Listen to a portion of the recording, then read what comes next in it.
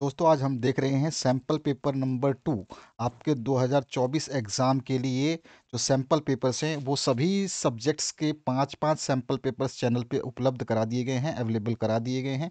आप चाहे मैथमेटिक्स देखें फिजिक्स देखें केमिस्ट्री देखें इकोनॉमिक्स देखें, आप जो भी देखना चाहें, वो सारे के सारे सैंपल पेपर्स उपलब्ध हैं इस चैनल पर।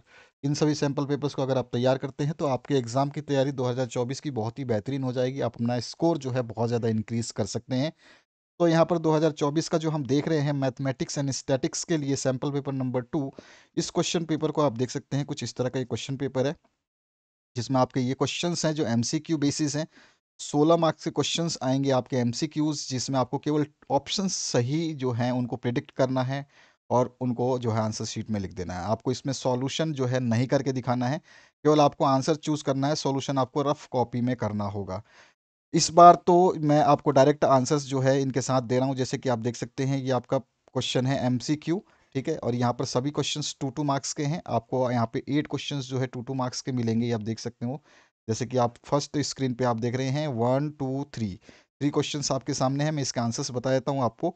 इसके बाद जो है आपके फोर्थ, फिफ्थ और सिक्स क्वेश्चन है, और फिर आपका जो क्वेश्चन नंबर है, सेवन्थ और एट्थ है। तो ये दो दो मार्क्स के सारे एमसीक्यू रहेंगे, केवल आपको ऑप्शन सही चूज़ करना है। इसके अलावा जो आपका सेकंड क्वेश्चन शुरू होगा, ये आपका फोर मार्क्स का वन वन मतलब फोर मार्क्स का टोटल रहेगा। यानी कि चार क्वेश्चंस आपको फोर मार्क्स के पूछे जाएँगे। ईच जो क्वेश्चन होगा वो एक मार्क कैरी करेगा आपका। फ़र्स्ट क्वेश्चन होगा, एक नंबर देगा, दूसरा जो क्वेश्चन होगा, जैसे फ़र्स्ट क्वेश्चन है ये, इसके आप देख रहे हैं, वन मार्क्स का है। इस तरह से जो दूसरा दूसरा क्वेश्चन है, सेकंड क्वेश्चन है, ये भी आपका वन मार्क्स का रहेगा। एंड देन थर्ड क्वेश्चन जो है, ये भी आपका वन मार्क्स का रहेगा। देन फोर्थ क्वेश्चन जो है, ये भी आपका वन मार्क्स का रहेगा। फिर सेक्शन बी जो शुरू होगा, यहाँ पर यहाँ पर आपको कोई भी अटैम्प्ट करने होंगे, एट क्वेश्चन। सभी के क्वेश्चन के आंसर मैंने देखो यहाँ पे लिखा हुआ है, सभी क्वेश्चन को सॉल्व किया हुआ, हर क्वेश्चन को यहाँ पे सॉल्व किया हुआ है। काफ़ी बच्चों का रिक्वेस्ट था कि सर हमें क्वेश्चंस अलग और आंसर्स अलग दीजिए। तो नेक्स्ट वीडियो से क्वेश्चंस अलग और आंसर्स अलग मिल जाएँगे। जैसे क्वेश्चन ये लिखा होगा, लेकिन आंसर उसके नीचे नहीं, बल्कि बाद में आपको दे दिया जाएगा, एक साथ में सारे के सारे पीडीएफ में।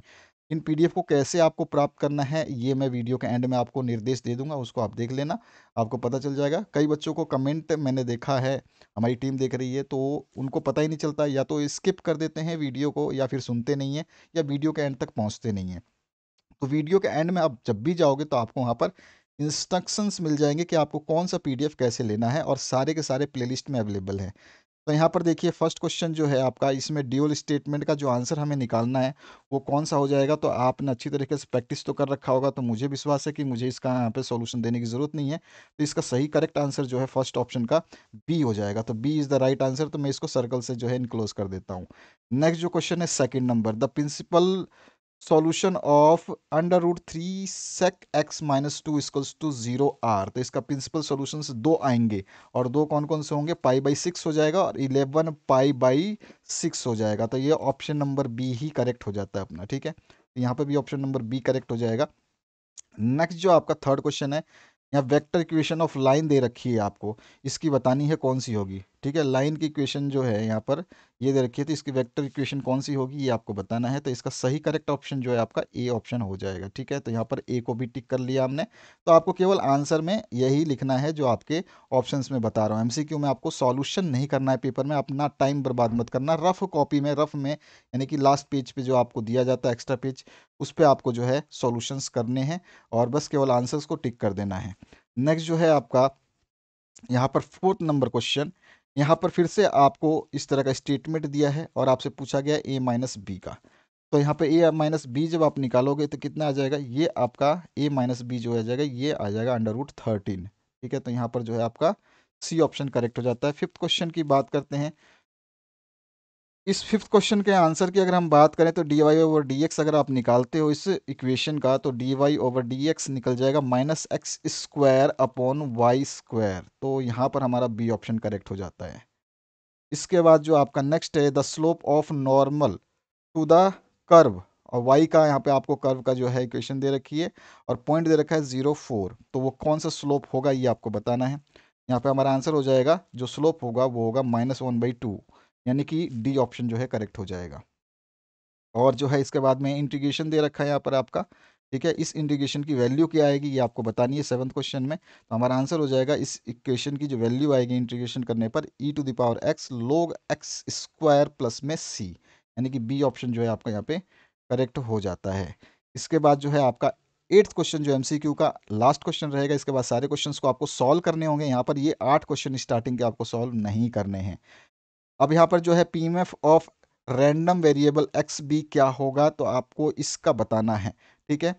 तो यहाँ पर इसका जो पी एम एक्स वेरिएबल जो हम देखेंगे रैंडम में तो वो हो जाएगा आपका शून्य, यानी कि ज़ीरो सी ऑप्शन जो है इसका करेक्ट आंसर हो जाएगा, ठीक है? तो ये आपके एम के आंसर्स हो गए और बाकी मैंने बड़े क्वेश्चंस जितने भी हैं इनको सॉल्व कर दिया डिटेल सॉल्यूशन दिया हुआ है, जैसे कि आप देख सकते हैं। ये आपका आंसर करना है। ये फोर मार्क्स क्वेश्चन रहेगा, ठीक है? तो यहाँ पर फोर मार्क्स करना है आपको और सारे के सारे क्वेश्चन करने हैं आपको, यहाँ पे आपको ऑप्शन नहीं है, ठीक है?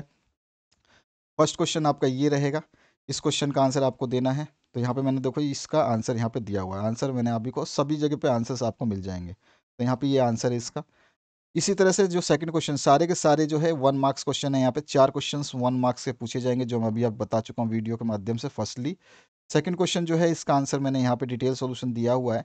तो सेकंड के बाद में थर्ड क्वेश्चन जिसको आपको एवेल्यूएट करना इंटीग्रेशन को डीएक्स में तो ये आपका जो आंसर आ जाएगा, वो ये रहा। तो इस तरह से सारे आंसर्स मैं जो है क्वेश्चंस के नीचे दे चुका हूँ। नेक्स्ट वीडियो में बच्चों का काफ़ी बहुत ज़्यादा रिक्वेस्ट है, बहुत बहुत ज़्यादा रिक्वेस्ट है कि, सर, आंसर ना दें पहले।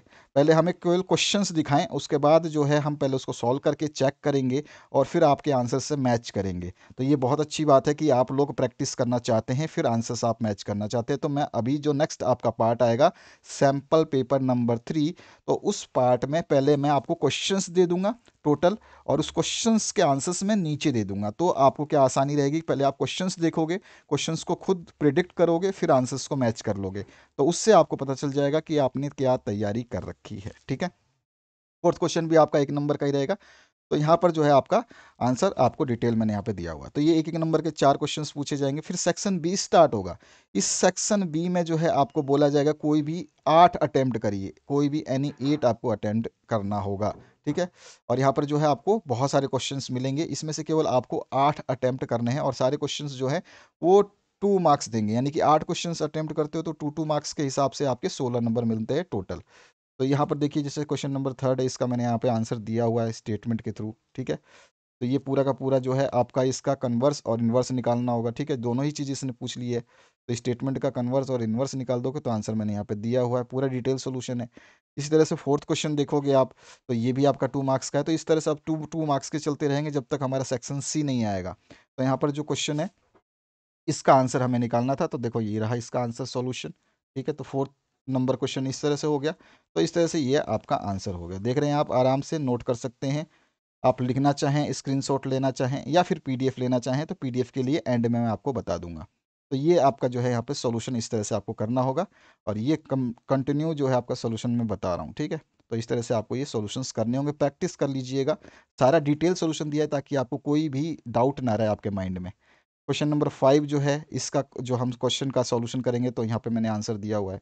तो ये इसका आंसर हो जाएगा, ठीक है? तो ये हो गया फाइव का आंसर नोट कर सकते हैं आप इसको। अब इसके बाद आते हैं हम क्वेश्चन नंबर सिक्स की तरफ़। क्वेश्चन नंबर सिक्स जो है, ये रहा आपका और इसका आंसर मैंने यहाँ पे दिया हुआ है, ठीक है? तो ये पूरा का पूरा डिटेल सॉल्यूशन आप देख सकते हैं यहाँ पे। सिक्स नंबर क्वेश्चन आपके सामने स्क्रीन पे है और उसका नीचे है सॉल्यूशन और ये रहा इसका सॉल्यूशन कंप्लीट अब इसके बाद जो है नेक्स्ट क्वेश्चन है सेवन्थ नंबर सेवन्थ नंबर जो क्वेश्चन है, ये बहुत ही इंपॉर्टेंट क्वेश्चन हैं तो हज़ार चौबीस एग्ज़ाम जो आपकी होने वाली है, आपके पास समय ही नहीं बचा। आप तो दस दिन से पंद्रह दिन बचे हुए हैं। ये मंथ आपका निकल चुका है अप्रोक्सीमेटली और उसके बाद जो है आपके एग्ज़ाम स्टार्ट हो जाएँगे और फिर आपको जो है एग्ज़ाम देना होगा और बड़े तरीके से देना होगा। तो आपको जो है प्रैक्टिस पहले से ही कर लेनी है। सेवन्थ क्वेश्चन का आंसर यहाँ पर है। ये कंप्लीट हो जाता है सेवन्थ क्वेश्चन फिर एट्थ क्वेश्चन जो है ये भी टू मार्क्स का। तो इस तरह से टू टू मार्क्स के चलते रहेंगे। आपके क्वेश्चन मैंने सारे सॉल्व किए हुए, लेकिन आपको केवल आठ ही सॉल्व करने हैं, ध्यान रखना है। यहाँ पे जनरल सोल्यूशन बताना है इसका। तो ये रहा जनरल सोल्यूशन इसका। आप नोट कर लेंगे यहाँ से। ये हो जाएगा। नाइन्थ क्वेश्चन जो है ये है, इसका जनरल सोल्यूशन आप यहाँ पे देख सकते हैं क्या है। ठीक है? Find the value of b तो ये इसका आंसर है पूरा का पूरा। अब इसके बाद आते हैं नेक्स्ट जो टेंथ क्वेश्चन है, इसका आपको एवल्यूट करना है। ठीक है? ये भी टू मार्क्स का है, इसको आप एवल्यूट कर देंगे। उसके बाद जो है आपका इलेवंथ क्वेश्चन है। इलेवंथ क्वेश्चन का आंसर इसी के नीचे है। नेक्स्ट जो आपका सैंपल पेपर नंबर थ्री रहेगा, उसमें मैं आपके आंसर्स जो है, वो मैं सबसे लास्ट में दूँगा ताकि आप लोग प्रैक्टिस पहले कर लें। अब इसके बाद ट्वेल्थ नंबर जो क्वेश्चन है, वो आप देख सकते हैं, ये है। इसका आंसर यहाँ पर है, ये रहा पूरा का पूरा कंप्लीट। अगेन जो है, ये इसका बचा हुआ पोर्शन का आंसर है। थर्टीन क्वेश्चन ये है आपका, इसमें जो आंसर्स है वो ये रहे। अगर मैं डिटेल आंसर आपको समझाऊं पूरा तो वीडियो तीन चार घंटे की बन जाएगी और इतना समय आप नहीं दे पाओगे, क्योंकि मैंने इससे पहले लेंदी वीडियोस बना के देख लिए हैं। आपके पास समय नहीं रहता इतना कि आप लेंदी वीडियोस को देख पाओ या फिर समझ पाओ। आप बहुत ज़्यादा स्किप में लगे रहते हो, आपको स्किप करने का जो है ज़्यादा समय मिलता है तो इसलिए जो है हम स्किप करने लायक जो है वीडियोज़ नहीं बनाएँगे, आपको जल्द से जल्द सोल्यूशंस दिखा देते हैं। तो यहाँ पे आंसर है ये, इसका आंसर आप नोट कर लेंगे यहाँ से। क्वेश्चन नंबर फोर्टीन जो है, इसकी बात करें तो यहाँ पर इसका आंसर आप देख सकते हैं, ये रहा, नोट कर लीजिएगा। सेक्शन थ्री, अब देखिए फोर्टीन तक तो आपके दो दो नंबर के सारे क्वेश्चंस थे, ठीक है? अब इसके बाद जो क्वेश्चंस हैं, वो सारे के सारे आपके कितने नंबर के रहेंगे? थ्री मार्क्स के रहेंगे ठीक है? सेक्शन सी से थ्री मार्क्स के रहेंगे तो इसमें भी आपको कोई एट ही अटैम्प्ट करना है, ठीक है? और ये ट्वेंटी फोर मार्क्स आपको देगा। तीन तीन नंबर का एक एक क्वेश्चन रहेगा, जो कि आप यहाँ पे देख सकते हैं। तो ये फिफ्टीन नंबर क्वेश्चन से तीन तीन नंबर के क्वेश्चन स्टार्ट हो जाएँगे। इनके सॉल्यूशंस मैंने दे रखे हैं यहाँ पर, आप नीचे देख सकते हैं, पूरा का पूरा कंप्लीट सॉल्यूशन है ये। ये कंप्लीट हो गया आपका। अब इसके बाद जो नेक्स्ट क्वेश्चन है, उसका भी आंसर बता देता हूँ मैं। तो ये रहा आपका सिक्सटीन नंबर क्वेश्चन, ये भी तीन मार्क्स का है जहाँ पे आप देख रहे हैं, थ्री मार्क्स क्वेश्चन है और ये रहा इसका सॉल्यूशन जो कि नीचे की तरफ़ आप देखेंगे। तो क्वेश्चंस देख करके आप सॉल्यूशंस को प्रिडिक्ट कर सकते हैं, मैं नेक्स्ट टाइम से केवल पहले क्वेश्चंस दिखा दूँगा, उसी के, उसी वीडियो में आपके आंसर्स भी मैं लास्ट में दे दूँगा।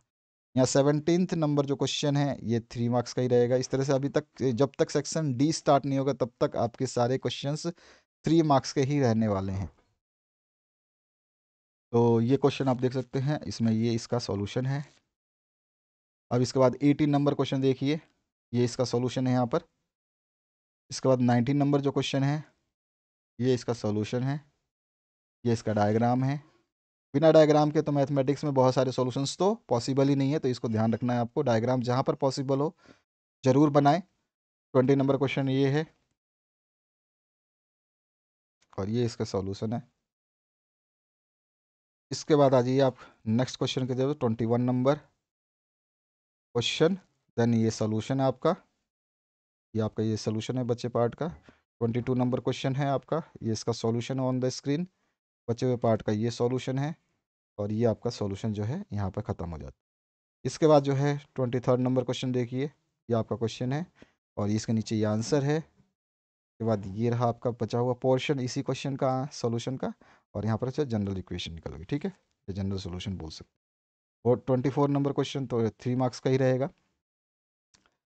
यहाँ पर जो है आपको सॉल्यूशन नीचे दिया गया है, आप चेक कर लीजिए। अब इसके बाद आइए ट्वेंटी फाइव नंबर क्वेश्चन ये रहा आपके सामने। इसका जो पार्ट है फ़र्स्ट पार्ट पूछा गया सेकंड पार्ट और थर्ड पार्ट तीनों पार्ट को आपको देने हैं एक एक नंबर का पार्ट हो गया, यानी कि फ़र्स्ट पार्ट का सॉल्यूशन आप देख सकते हैं यहाँ पे, ठीक है? इसके बाद जो है सेकंड पार्ट का सॉल्यूशन है ये। उसी के और थर्ड पार्ट का सॉल्यूशन है ये। इसके बाद आइए ट्वेंटी सिक्स नंबर पे, ये रहा आपका। इसका हम टेस्ट जो करेंगे, वो टेस्ट करेंगे, हम ट्रू और फॉल्स बता देंगे, ठीक है? तो ये आपका टेस्ट हो जाएगा, इस तरह से इसका करेक्ट आंसर आपको निकालना होगा। अब यहाँ पर आ जाइए नेक्स्ट सेक्शन डी शुरू होगा। सेक्शन डी जो है ये ट्वेंटी मार्क्स का होगा। इसमें केवल आपको फाइव अटैम्प्ट करने हैं। ये बहुत ज़रूरी है कि आप ध्यान से इंस्ट्रक्शंस को समझें। इसमें से केवल पाँच अटैम्प्ट करने हैं आपको क्वेश्चंस जितने भी दिए जा रहे हैं। तो आपकी चूज़ के हिसाब से आप कौन सा क्वेश्चन करना चाहते हैं? जैसे कि ये फ़र्स्ट क्वेश्चन है। इस, ये फोर मार्क्स के रहेंगे सारे क्वेश्चन पाँच क्वेश्चन अटैम्प्ट करोगे तो ट्वेंटी मार्क्स आपको मिल जाएँगे। तो ये पूरा का पूरा सोल्यूशन है। ये रहा इसका टेबल इसके बाद इसका सॉल्यूशन ठीक है? ये हो गया ख़त्म। ये रहा ट्वेंटी एट नंबर क्वेश्चन ठीक है, इसका सॉल्यूशन यहाँ पर है, आप देख सकते हैं। और आ जाइए आप, ये देखिए, ये है इसका सॉल्यूशन अगेन ये बचा हुआ पार्ट जो है, ये सॉल्यूशन है। और ये solution twenty nine number question जो है, इसका आंसर यहाँ पर है। बचे हुए पोर्शन का आंसर ये है। अगेन ये बचा हुआ पोर्शन का आंसर ये है आपका आंसर और ये हो गया। थर्टी नंबर क्वेश्चन आपके सामने ये रहा। इसके सॉल्यूशन की बात करें तो ये आपका सॉल्यूशन है, जिसमें आपका टेबल बन गया और ये आपका सॉल्यूशन बाकी जो आप देख रहे हैं नीचे की तरफ़। इसके बाद जो है इसका थोड़ा सा ग्राफ ज़रूर ड्रॉ करेंगे तो इसका ग्राफ कुछ इस तरह से बनेगा। ऐसा ये ग्राफ है, ठीक है? आ जाइए नेक्स्ट आपका जो क्वेश्चन है उसकी बात करते हैं।